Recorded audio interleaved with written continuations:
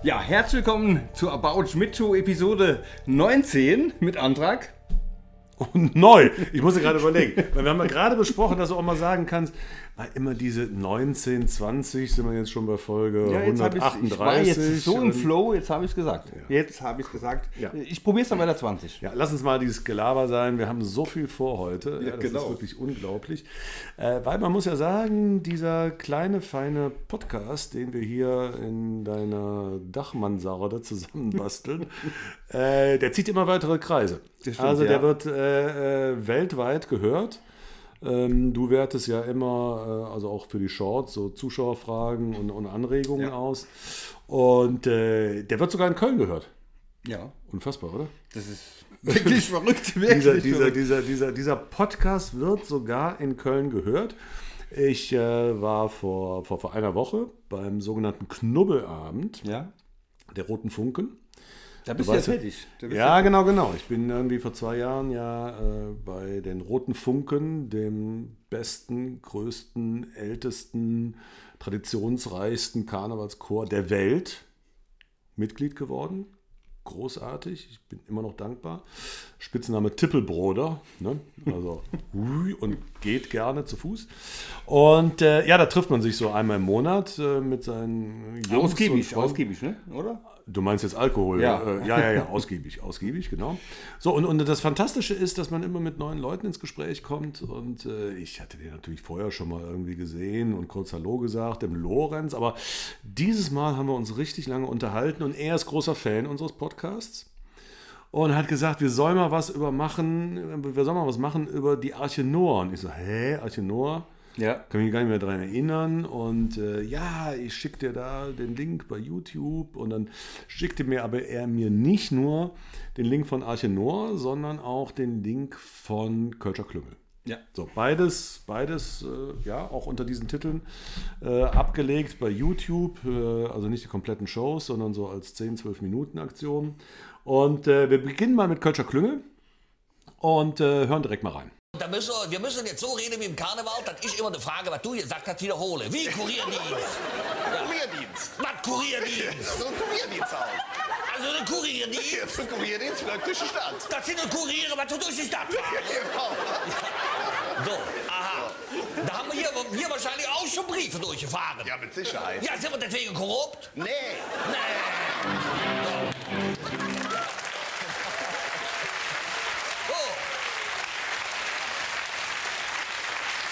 So. Ja, da sind wir schon direkt beim Thema Karneval. Und bist du eigentlich ein Karnevalsjack oder wie man hier im Saarland sagt? nein. Warum? Ich äh, hab, irgendwie habe ich da keinen Spaß dran.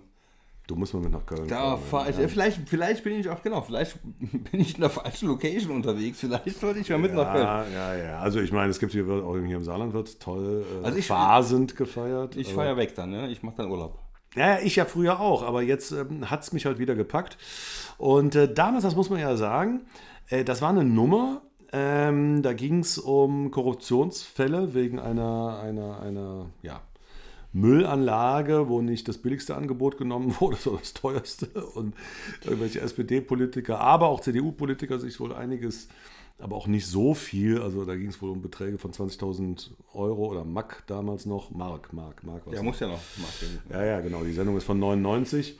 Und äh, so, und, und dann, ähm, da denkt man ja so im ersten Moment, äh, wenn man so auch das hört, äh, ja, der Andrak hat immer in der Show viel vom 1. FC Köln erzählt, das, äh, die Nummer ist bestimmt auf seinem Mist gewachsen. Nein.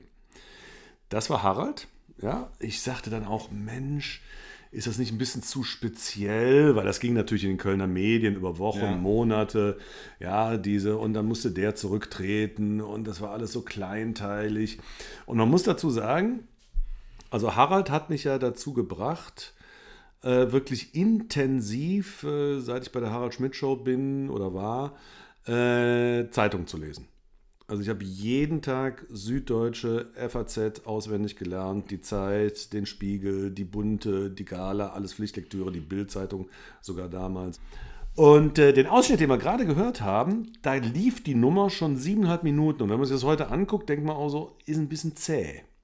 Ja. Ne? Oder? Ja. Ja. ist ein bisschen sehr so speziell. ganz und, und, und nee, genau. Ja, vor allem, so. wenn man, wenn man nicht weiß äh, genau, um was es geht. Ne? Man hat's, äh, Ja, genau, genau, genau. Ja, und, und das ist jetzt mit dem Abstand von, äh, wie, pf, mein Gott, 24 Jahren noch mehr. Äh, aber auch damals war das so alle für außerhalb von Köln. Aber du merkst schon, wie die Leute doch zuhören.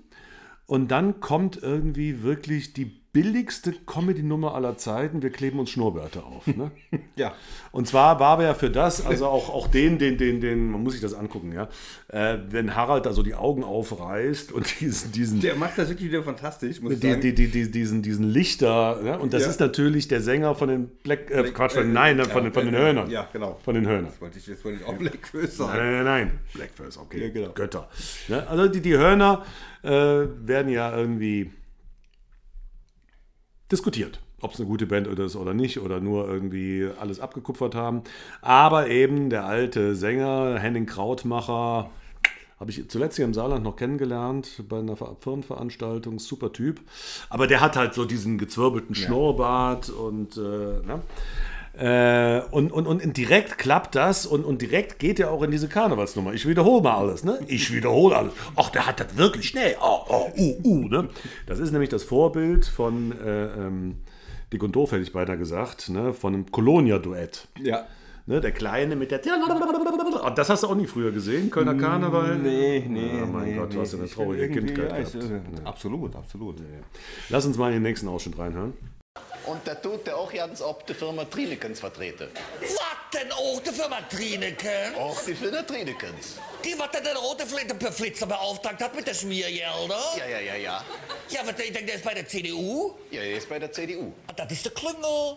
Der hätte aber auch gestimmt dafür, dass der Firma Trinekens die Müllverbrennungsanlage da. Was denn, obwohl da andere billiger gewesen sind? Ey, jo, dat. Ja, und das...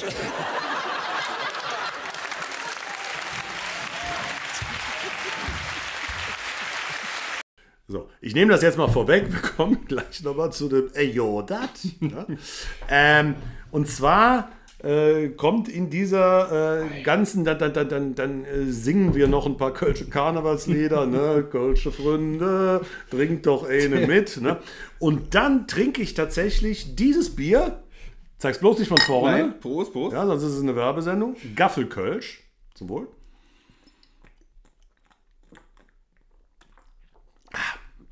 Ich habe gesehen, Ich liebe ja, ich lieb ja Kölsch. Echt? Ja, absolut. Ach, dann liebe ich dich. Ich lieb Ich lieb Kölsch. Ja, es gibt ja ganz viele so, so Saarländer, die dann äh, mit, mit, mit Urpilz aufgewachsen sind, die so, äh, Kölsch und Nee, ist jetzt tatsächlich. Mädchenpipi. das, das und, Karlsberg ist tatsächlich nicht mein Bier. Aber das ist doch ein geiles Bier, Ja, oder? absolut. Ja. Und ich habe es jetzt erstmals gesehen, ich darf es jetzt auch wieder nicht in die Kamera zeigen, weil das wäre ja auch Werbung für einen Fußballverein. Die haben jetzt hinten auf das Etikett geklebt, exklusiver Kölsch-Partner des ersten FC Köln mit Logo und Geistbock. Tolle Sache. So, auf jeden Fall in dieser Sendung. Äh, das war, äh, ja, was, was, was, was trinken Sie äh, für einen Kölsch heute, Herr Andrak? Ne? Und ähm, da trinke ich genau ein Gaffelkölsch, aber frei. Was heißt frei? Alkoholbefreit. Achso, alkoholfrei. 0,0 Prozent. Und zwar trinke ich das so. Was dann noch einen extra Lacher bringt, weil dieses alkoholfreie Kölsch, das kannst du echt nicht trinken. Okay. Das schmeckt so grässlich. Wahrscheinlich war das damals, äh, habe ich die, die, ah, 27.05. Nee, Quatsch, kann ja gar nicht sein. 27.05. 23. Drei- Ich habe da 27.05.2023. Ja, genau. Also im Mai 2023 lief diese Show. Nee, also entweder war, es muss eigentlich 2002 gewesen sein.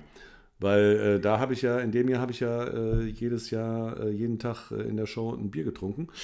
Ähm, was ich auf jeden Fall sagen wollte, den Ausschnitt, den wir gerade gehört haben. Ne? Das wird uns ja auch oft vorgeworfen, dass ich immer so hin und her springe.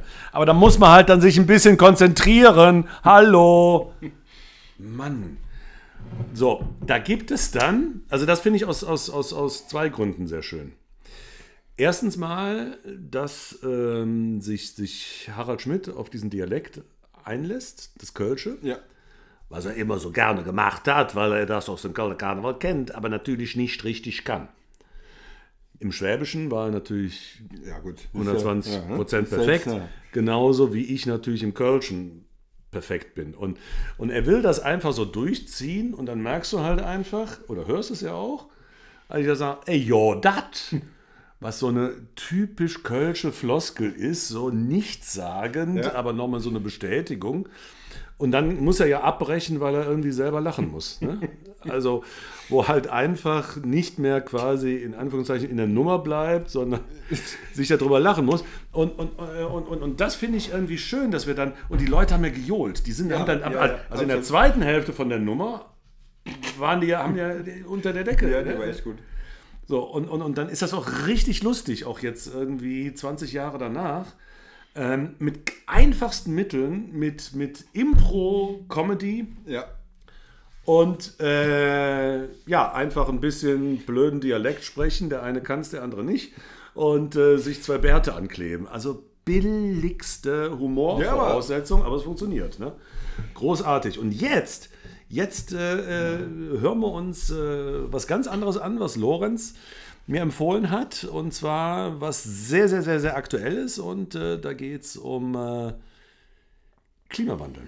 Sie können auf Sylt den Kickoff mitfeiern. Genau. Ja, wir haben äh, viele Prominente, die da sind, die auch nicht mitkommen auf Sylt. Äh, Partykönige, Partyluder. Hier ist äh, Äh, Ammer. hier ist äh, Partykönig Amme, der, glaube ich, das Kickoff organisiert. Genau. Und mit dabei viele Prominente, Kader Loh und so weiter. Die sagen Tschüss. Okay. Also es geht in der Nummer darum, dass äh, ja ähnlich äh, wie bei der biblischen Flut und Arche Noah hat äh, da eben Tiere auf seine Arche gepackt. Also Noah, Arche Noah, Quatsch. Also Noah hat auf seine Arche, in Ja. die Arche Noah, äh, Tiere gepackt. Tiere gepackt. Und zwar von jeder Art zwei. Und die, und die Grundidee ist, also jetzt ist bald ja wieder Flut und äh, ne, also auch damals äh, habe ich jetzt mal, ah ja, jetzt habe ich, hab ich das richtige Datum aufgeschrieben. 8. Februar 2007. Ähm, ja, was denn? Ja, ja, das ist so. Ja, manchmal, manchmal mache ich auch was richtig. so. Ähm, und äh, da war eben einfach das Thema, äh, das ist ja jetzt auch nicht irgendwie äh, von den Grünen erfunden worden in der Ampelregierung, sondern das Thema gab es halt auch schon vor 16 Jahren. Und äh, so, wir müssen jetzt mal entscheiden, also da fährt diese Arche ab und wir müssen uns entscheiden, nicht welche Arten von Menschen, sondern welche Typen von Menschen. Und da wollten die ihn alle mitnehmen, ne? Da wollten die ihn alle mitnehmen. Nee, nee, nee, aber auf jeden Fall Filipinos. Ne? Warum, warum Filipinos? Naja, weil die irgendwie unter Deck arbeiten und die ganze Arbeit machen auf dem Schiff. Sonst fährt das Schiff ja, ja, nicht. klar. Äh, die, die Arche fährt ja noch nicht mal los ohne Filipinos. Das war natürlich total rassistisch, aber ist egal. Ähm, so, du hast die beiden Nummern geguckt, Klüngel und Arche Noah. Fällt dir was auf an Unterschied? Also das eine ist ja äh, seit 1 Zeit, würde ich mal sagen, die Hochzeit 2002, obwohl ich geschrieben habe 2023, also es muss 2002 gewesen sein. Fünf Jahre später die Arche Noah-Nummer. Findest du irgendwie, wie und mit unserem Zusammenspiel Es war ein bisschen, also meiner Meinung nach war es äh, äh, ähm, ein bisschen lahmer. Inwieweit Lama? Was meinst du mit Lama? Jetzt es von, von, von, von der Stimmung vom Publikum her oder von dem, was. Ne, die ganze Stimmung von der, von der, von der Situation her war es irgendwie ein bisschen, ja, ich weiß gar nicht, wie ich es beschreiben soll. Ich finde das interessant, weil das, was du sagst, haben quasi deckungsgleich viele Journalisten zu der Zeit geschrieben. Und zwar kommt es Es hat aber. so ein bisschen äh, der Pep gefehlt, sag ich mal. Ja, aber interessanterweise wollte Harald viel mehr Pep reinbringen als früher. Mhm. Es ist nämlich hektischer und das kannst du irgendwie. Ja, genau, hektisch Äh, definitiv äh, auch, ne, ja. also bei dieser Nummer, bei diesem Ausschnitt, den wir da gerade gehört haben, das hatten die Autoren hatten dann halt zwei Bilder von diesen unsäglichen Mallorca-Typen und Kader Loth, der auch noch die halbe Titte da irgendwie, äh, ja. Da hätte in, in früheren Zeiten hätte alleine irgendwie dieses Bild, hätte der anderthalb Minuten drauf rumgeritten, oder? Und hier so, ja, ja, ja, und da ist noch Kader Loth und jetzt weiter. Ja. Ne? Also auch der Dialog zwischen uns. Es war jetzt irgendwie so, tacker, tacker, tacker, tacker, tacker, tacker. Das kam natürlich auch durch die geringe Sendezeit. Wir hatten ja vorher, äh, bei Sat 1 hatten wir 48 Minuten netto, plus 12 Minuten Werbung, macht eine Stunde. So.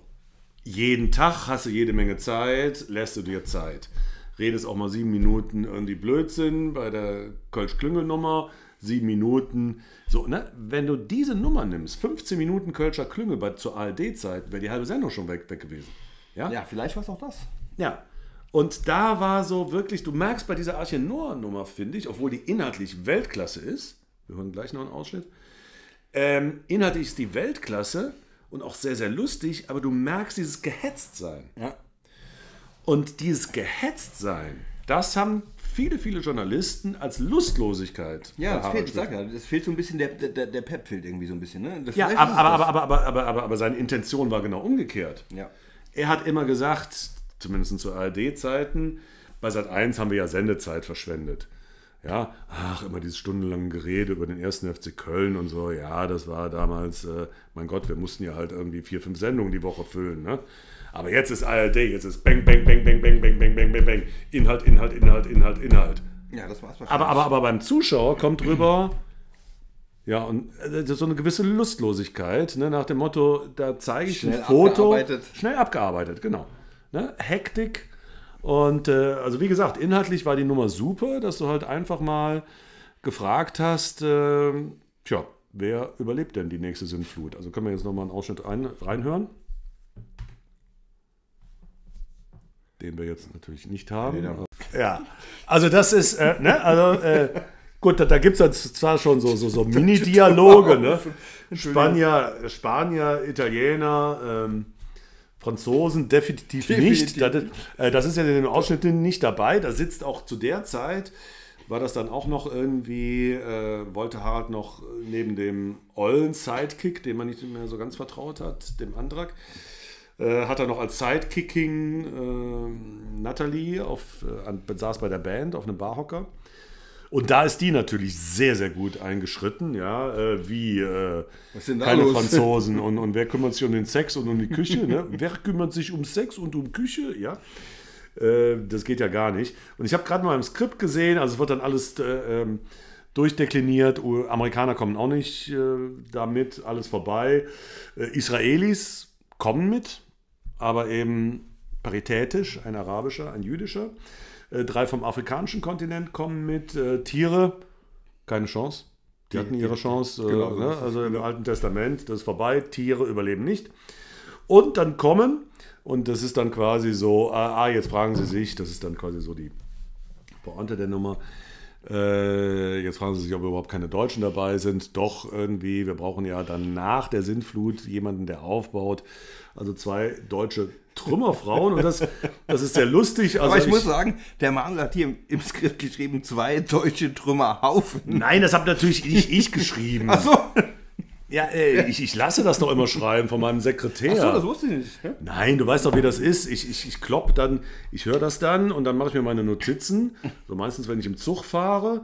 Und dann, dann, dann kennst du doch diese Rechtschreibprogramme. Ja, ja. Du machst dann Trümmer und dann äh, guckst nicht richtig hin. Und zack, und Textvorschlag ein, und zack, ist ein Trümmerhaufen. Ja, aber den Trümmerhaufen. Wie kann man denn irgendwie aus Trümmerfrauen Trümmerhaufen Ja, machen? wahrscheinlich hat er es direkt auf das Deutsche bezogen, beim Aufbau die Trümmer.